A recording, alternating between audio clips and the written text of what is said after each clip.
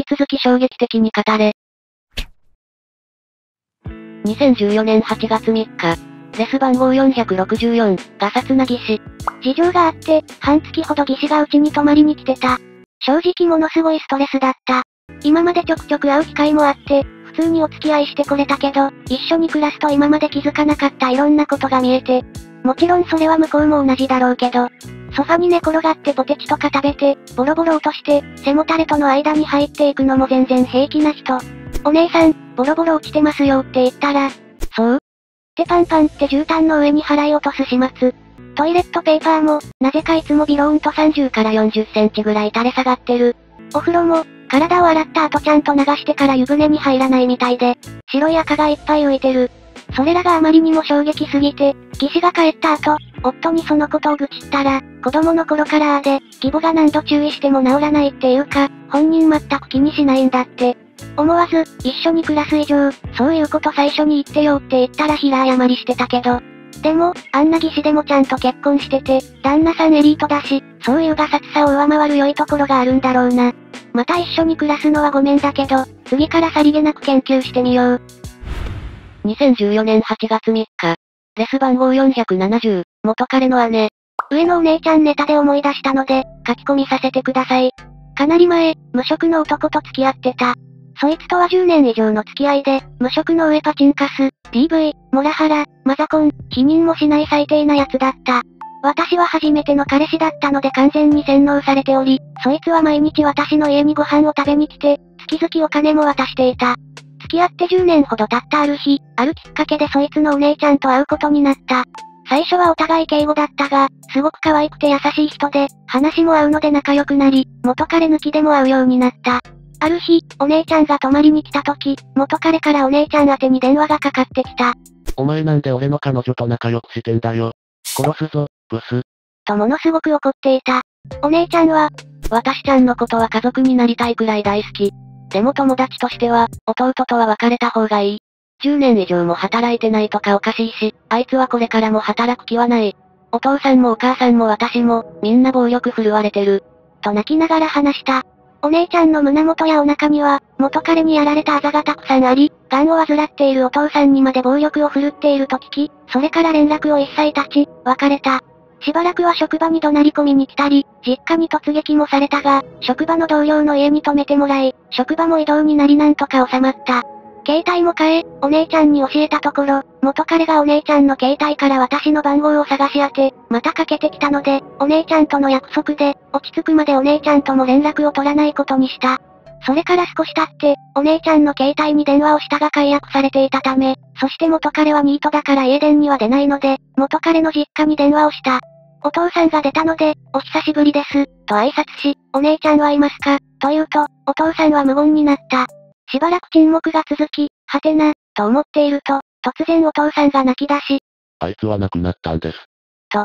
今は天国にいますから、こちらも思い出すと辛いので、もう電話をかけてこないでほしい。とお願いされ、一方的に切られた。電話の後、涙が止まらず弟にお願いして元彼実家に駆けつけたが、弟がベルを鳴らしたが出てはもらえなかった。それから3年ほど経ち、お姉ちゃんの実家に車で行ってみたが、新築の家だったのに売りに出されていた。病気のお父さんや元彼もどうしてるか知らないが、まだ元彼は働いてないと思う。私の幸せを考えて、元彼に殴られながらも別れさせてくれたお姉ちゃん。私の紹介で出会って付き合った彼氏とも、婚約の席で元彼にボコボコにされ破談になったり、せっかく決まった大手企業の内定も、元彼の会社へのいたずら電話や嫌がらせで退職に追い込まれた。一人暮らしも進めたが、病気のお父さんとお母さんを置いていけない。と一人で頑張っていた。私は助けてもらったのに、お姉ちゃんを救えなかった。今でもお姉ちゃんが亡くなったことは信じたくないし、再会する夢ばかり見る。2014年8月3日、レス番号478、素で叩き。プチだけど、家の中に巨大な蜂が入ってきて、家族全員パニック。よりによってこういう時に頼りになる母がいない。蜂を刺激しないように、騒がず涙目で逃げ回っていたら、80歳超えで普段かなり動きがスローモーな祖母が、信じられないほど俊敏な動きを見せ、バッチンと音を立てて、素手で叩き潰した。こんたら蜂さ怖がって。いい大人がなんだべ。情けなか。うろ覚え。続いて、秋田にはアブもいるし蛇もいるし、鶏もいる。蜂はさっとやっつければいい。鶏の方がよほどつついてくる。都会の人はパソコン通信はできるのに、蜂が怖いんだか。手笑って、お手拭きで手を拭いて、そのままお菓子を食べ出した。色々と、衝撃的でした。2014年8月3日。レス番号479、大衆。すごい大衆の人がいたこと。脇が、ではないらしい。だが、全身から猛烈に埃っぽい匂いがする。どんな服を着ていても同じ匂いだから大衆だと思う。それが、脇がの人のような酸っぱい匂いとかじゃなく、換気の悪い倉庫の匂いというか。引率で容量もよくコミュ力も高いんだけど、職歴はほぼ契約社員で1年で円満契約終了。あの大衆のせいなんだろうな。と思うけど真相はわからない。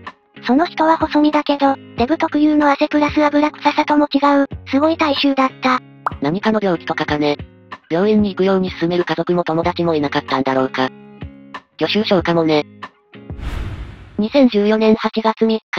レス番号482、童貞。結婚前の話だけど、旦那が42歳で童貞だったこと。一回り上の年齢で、太ってて薄毛の旦那が初々しい少年に見えて、初めての時は旦那と一緒にめっちゃ緊張した。2014年8月4日。レス番号483、実母。戸籍上の母親が実母ではなかったこと。戸籍上の母親の妹が実母だったこと。つまり、父親が妻の妹をはらませて生まれたのが私。母とおばがとても仲が良いことが、今となっては君が悪い。君の悪い姉妹の娘である自分が気持ち悪い。2014年8月4日。レス番号484、バブル時代の演歌歌手。売れる前の香西香りに抱っこしてもらったことがあること。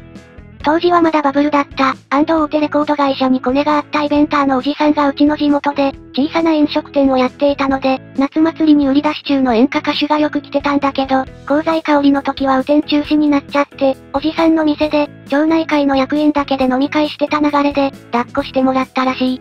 盆踊りの歌は宮古春美が歌ってることも衝撃だった。2014年8月4日。レス番号485、八地。昨日八地に刺された。八地 ?2014 年8月4日。レス番号487、愛称。まとめサイトで、クズ旦那が浮気したので離婚したら、プリと再婚して今幸せらしくて、クズ男じゃなくなってた、消せない許せないっていう記事があって、コメント欄で、相性の問題とか、報告者が DV 誘発型の女性なんじゃないかとか、白熱した議論がなされていた。女性側である自分の体験談だけど、確かに人は相性で激変する。悪い意味での元々の性質は、そりゃあると思うけど、それが表面化するかしないか、逆に良い性質が前面に出て、悪い性質を閉じ込めるように働く、そんなことってほんとある。実は、私はストーカー粘着激ウザメンヘラ女だった。学生時代に付き合った初めての彼に、初期二股されてて、そこから発症。それまでは何も知らん田舎娘だった。絶対死なない自称や彼氏の職場までストーカー、他の女子と接触すると切れる、泣いてひすって24時間。こんな自分大嫌いだった。しかし今日依存状態になったのか、彼も別れようとはせず泥沼。完全に二人の世界へ合。こんなんでもお互い学業や仕事はちゃんとやってて、社会的に問題が表面化することはなかった。けどまあ、いずれは別れるよね。別れた。死のうと思った。突き止め済みの彼の実家で釣ろうと思った。でも、私のおじいちゃんが倒れて色々手伝ってるうちに、付き物が落ちたみたいにどうでもよくなってた。でも、メンヘラ体質は変わっていない自覚があった。その後、割とすぐに次の彼ができた。その彼とは、なぜか常にいつも良い自分でいられた。デートドタキャンも仕方ないねって思えるし、ストーカー心も独占欲も執着心も顔を出さず、彼の健康などを常時最優先することができた。彼はそんな私をとても尊重してくれて、まあ結婚した。私は、成長したんだわと思って暮らしていたけど、ある時元彼から連絡。なんか仕事のことだったか、私の漫画が30冊出てきたからどうするかとか、そんなどうでも良いことだったけど、メールのやり取りするうちにメンヘラ再発。なぜかイライラしてきて、今元彼がどうしてるのか気になって抑えきれない。やばいと思って、1時間ですぐに連絡を絶った。もちろん双方復縁希望なんかではない。旦那が帰ってきたらすぐにまた元の良い自分になれた。以降、子供も産んだけど特に必須もなく、周囲から私は、おっとりにっこり、のんびり母さんとして認識されてる。旦那には昔自分がメンヘラだったことを話した。あなたと会ってからいきなり治った、とも。すると旦那は、自分にもそういう相手がいて、それは幼馴染の男の子だったそうだけど、その子といる時はすごく嫌な人間になってしまうんだそうな。多分向こうもそうだろうからもう会ってないけど、そういう相手は前世に因縁でもあるんだろう、と割り切って、早めに接触を断つようにするしかないね。と言ってた。相性は馬鹿にできないよね。自分が変になってしまうから。ええー、そんなことってあるんだね。大変興味深い。旦那さんと巡り会えた今が本当の自分なのか、元彼といてギスギスしてたのが本当なのか。と前者だろう。月留め済みの彼の実家。えなんか笑った。おじいちゃんに感謝するんやでオープンの最大の修羅場スレであった話だね。相性はあると思うけど、そこまで如実に表面化するってすごいね。心が穏やかでいられる相手を見つけるのって、大事なことなんだな。相性があるというのは私もそう思うけど、ドロドロした海を元彼との関係で出すことができたから、すっきりできたんじゃないかなとも思う。元彼との関係がないまま、今の旦那さんと一緒になっていたら、きっと海を吐き出すことができなくて、苦しくなっていたんじゃないかな。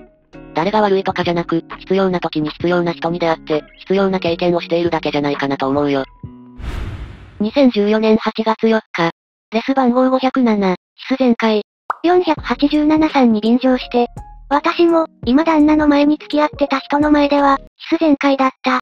なんでかわからないけど、前彼のやることなすこと全部気に食わなくて、ヒス、ヒス、ヒス。でもふと正気に戻ると、前彼のこと大好き、ごめんね、またヒス、の繰り返しだった。前彼は懐の深い人で、そんな私と婚約までしたけど、結局そんな自分が嫌で婚約解消した。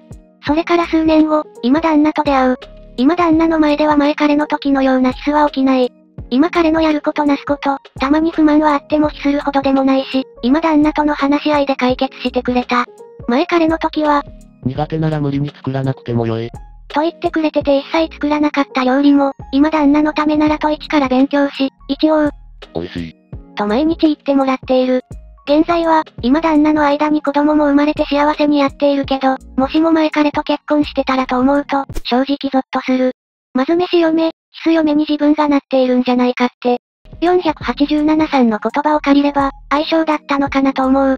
今でもたまに前彼のことを思い出すと、キーってなりそうな自分がいる。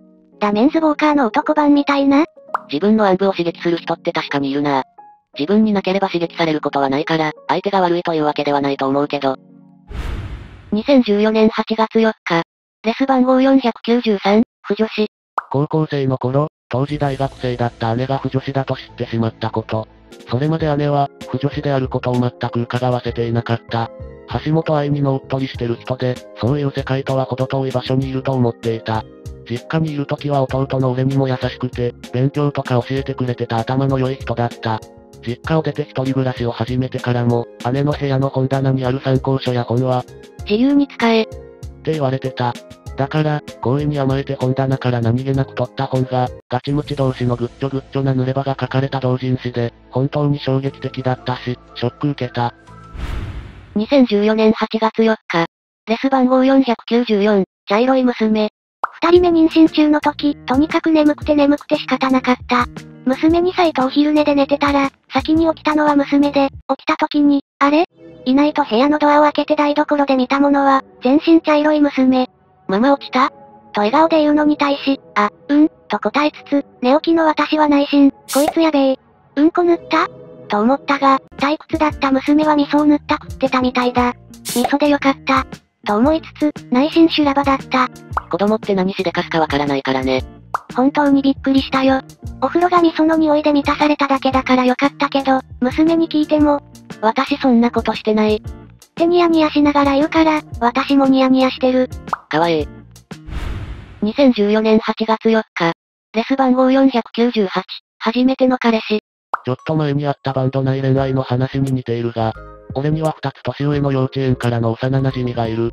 清楚、童顔、トランジスタグラマー、そして優しく穏やかな性格でとにかくモテる。兄か姉の欲しかった俺は実の姉のように慕っていた。そんな幼馴染だが付き合ったことはなかったそうで、俺が大学生の頃。そろそろ初めての彼氏が欲しい。というメールが来た。俺は入っていたアニメ研究会やゼミの友人等を紹介した。しかし、一度に何人もの男を紹介したのが間違いだった。ほとんどの男が幼馴染を気に入り、サークルもゼミも人間関係がギクシャクしてしまった。俺はサークルやゼミの女性陣から、あんたが女を持ち込んだせいだ。とかなり批判された。結局のところ、幼馴染はどの男も興味がなかったらしく、俺のおせっかいに終わった。少し驚いたのは、幼馴染を気に入った男全員が幼馴染のどこがいいかに対して、あのスペックで男性経験がないこと。って言ってたことかな。未だに幼馴染から彼氏欲しいメールが来るけど、女性陣から詰められたのが結構なトラウマなので、今は一人ずつ紹介している。それ、お前に彼氏になってほしいってことなんじゃね？普通に考えたらそうだろうな。この鈍感男が、ほとんど指定のような感じなので恋愛感情はないですね。それに今は彼女がいるので、特定されるかもしれませんが、彼女も僕もハライチの沢辺に似てるとよく言われます。わら、彼女も？ああ、だったらその幼馴染に彼氏ができないのは、幼馴染本人の問題だわ。おせっかいはやめた方がいいかもね。好きな人がいるから恋人になりたいとかならともかく、彼氏が欲しいとか彼女が欲しいとか、異性を物扱いしている人はなんだかなと思う。彼女の方が沢辺に似てますね。わら、確かに、どんな人がタイプか聞いてもはっきり言わないので、いわゆる恋に恋してる状態なのかもしれませんね。2014年8月4日。レス番号508、手品の種。マジックに詳しい人にとっては衝撃的ではないかもしれないが、高校時代の部活の合宿中、先輩が生で手品を披露してくれた。俺くん、腕時計貸して。というので渡すと、サイコキネシスのようにそれを浮かせてみせた。他にも、コップとかリモコンで同じマジックをしてくれたのは覚えてる。このマジックだけは堅くなに種を教えてくれなかった。種を教えてくれないのは本当に種がないからじゃ。おっとこんな時間に誰だろう。その先輩 X メンなんじゃね？?2014 年8月5日。レス番号513、足踏み終える。高校生の時、電車通学だった。その日はいつもより帰りが遅くなって、座れるほどじゃないけど車内はまあまあ空いてた。OL さんが座っている席の前に私は立ったんだけど、その OL さんが私の足を踏んでくる。踏まれるたびに足をずらすけどまた踏んでくる。OL さんを見ても携帯を見てて知らんぷりで、それが何回か繰り返された後、自分の最寄り駅に着いた。電車が止まって降りるために動こうとしたら、また足を踏まれた。いい加減イライラしてきて、一言言ってやろうと OL さんを見たら、初めて目が合ってニヤーっと笑われた。その笑顔がすごく怖くて、何も言わずに、逃げるように電車を降りた。他の人と比べたら大したことないけど、自分的にすごく衝撃的だった。やばい人だったかもね。ムカつくけど関わらなくて正解だったと思う。2014年8月5日。レス番号515、脱臼。私と妹は二人姉妹。私は幼少期から機械体操。妹は柔道を習っていて、お互い大学時代で辞めた。前提として、機械体操派の私はぐにゃぐにゃの軟体。体が柔らかいせいか骨折経験はないけど、肩とか股関節とか何度も何度も脱臼した。しかし大して痛くなく、体操部のコーチに直してもらったり、慣れてきたら自分ではめられるようになってた。高校の時、妹が柔道の練習中に股関節を脱臼した。親から妹が、脱臼して病院に運ばれた。と聞いたけど、ふーん、脱臼くらいでわざわざ大きな病院なんぞ行きよって、と思いつつ、母を乗せて車で迎えに行った。病院に到着すると、妹の悲鳴と絶叫が聞こえた。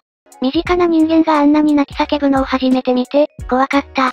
何が起きたか知らないけど、全身麻酔で手術か何かしたらしい。数日後に退院した。その後何年も経ち、お互い結婚して、妹が先に妊娠した。子宮外妊娠で、救急車で運ばれ、意識不明になるも生還。その数年後に妊娠し、無事に出産して一児の母。子宮外妊娠の腹痛地獄と、出産の痛みを経験した妹が一言。股関節脱臼と比べたら、出産なんてちょろかったわ。一応聞いてみたら、股関節脱臼、子宮外妊娠、出産、らしい。股関節脱臼の時は気絶するほどの痛みで、医師3人で押さえつけて、全身麻酔でも痛みが消えない地獄の処置だった。と、私が幼少期から頻繁に無痛でやってる股関節脱臼が、他人には地獄の痛みだと知ったのが衝撃。関節外して友達を驚かせて遊んでたくらい、痛くも痒くもないんだけどな。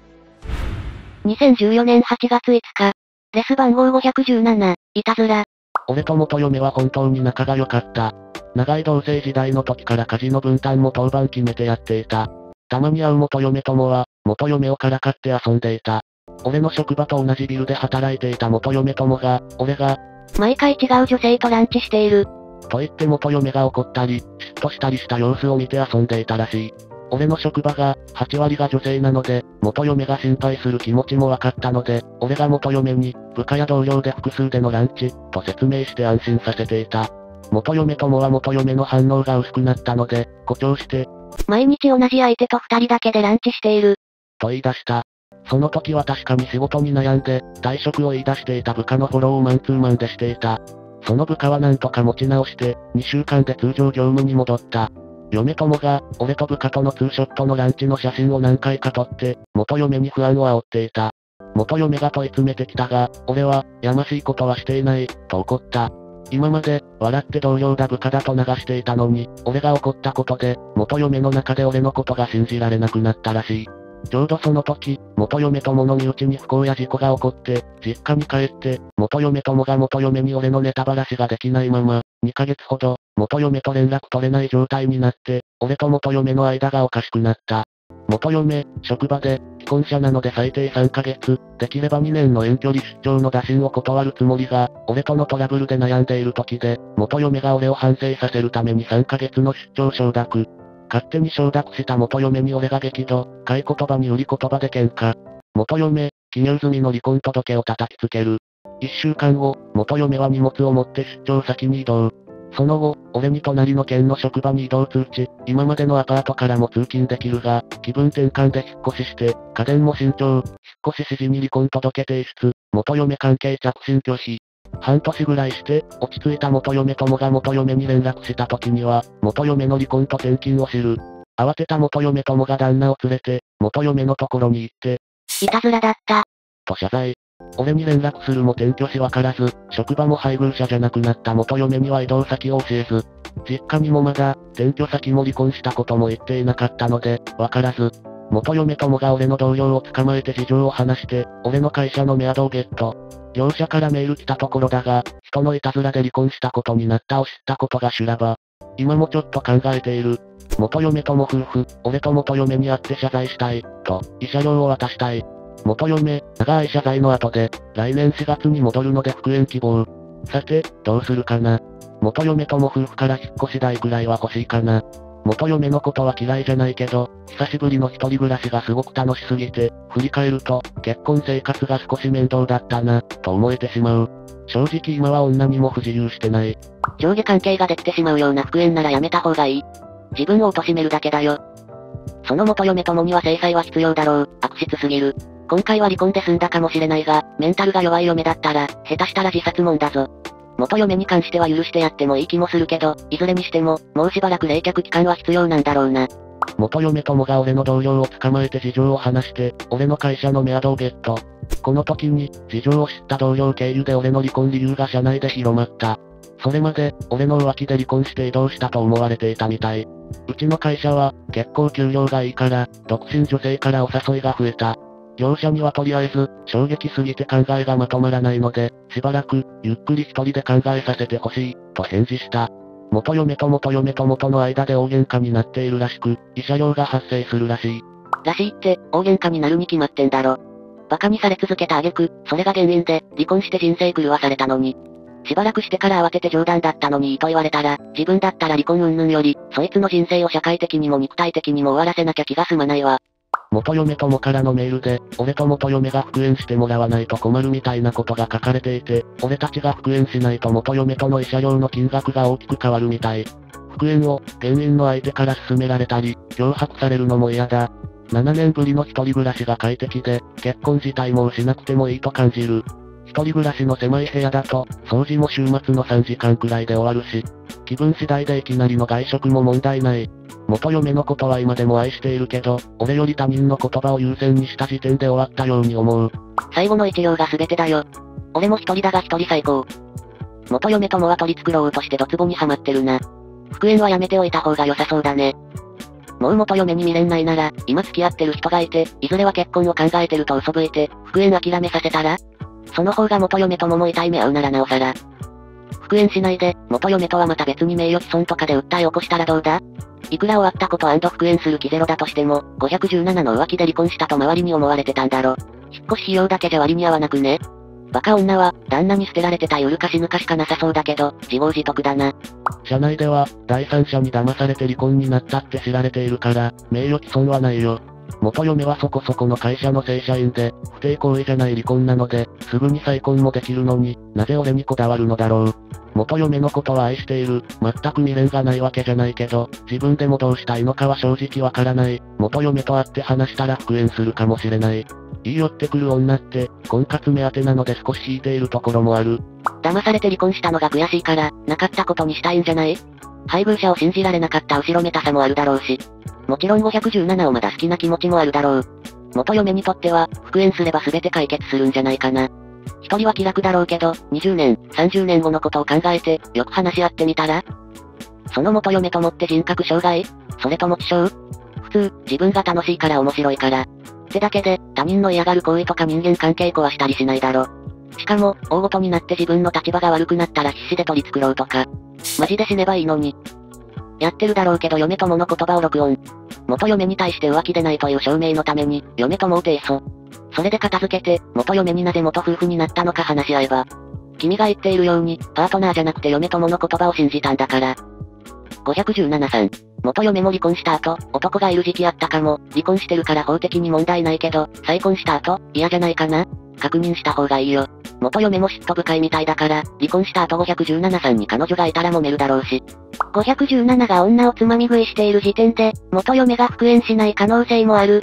離婚していたら、異性がいてても問題ないじゃないの。元嫁ともが引き金かもしれないけど、離婚は本人たちの自己責任じゃない。いたずら程度で離婚だなんて子供じゃないんだからさ。元嫁ともに請求しても、認められるか微妙だから、謝罪しているから水に流してやればいいのに。元嫁とも打つ。似たような話で、俺の知ってる話だと200万くらい慰謝料もらってた。まとめサイトにある話だと140万だったかなこの場合、二人っきりの食事の写真を見せたりしてるから悪質とみなされる。悪ふざけだったから、なんて通用しないでしょ。あくまで、結果に対する慰謝料なんだから。認められるか微妙ってことはないです。絶対認められますよ。翌日、2014年8月6日、0時48分。今日、社内の資格持ちに聞いて、元嫁ともに200万の慰謝料請求の内容証明を自分で作成して、職場近くの郵便局で出してきた。文書の字数制限が面倒くさかったが、無事受理された。久しぶりに元嫁の着信拒否を解除し、電話でさっきまで話してきた。何度も謝罪されて、嫁が、貯金を全額渡すから戻ってきてほしい。遠距離出張の解消も願い出るので復縁してほしい。友達には慰謝料請求するので、一緒に請求しよう。と言われた。元嫁ともに内容証明を出したことは言った。離れていた時の話とか世間話とかして、笑い合って、次に会う約束をして終わった。元嫁友は、元嫁と同じ中学からの中で、元嫁の方がいい高校、いい大学、いい会社に進んだのを妬んで、ちょっかいをかけていたそうだ。元嫁友の実家は裕福で、世間から見れば、元嫁友の方が戦望の対象なのに、人のコンプレックスの対象はわからないものだ。本来あまり悩むタイプじゃないのに、柄にもなくあれこれ悩んだが復縁することに決めた。元嫁の落ち込んだ声を聞いたら、一緒にいたくなった。やっぱり元嫁以上の女はいなかったことに気づいた。そっか、よかったね。復縁、おめでとう。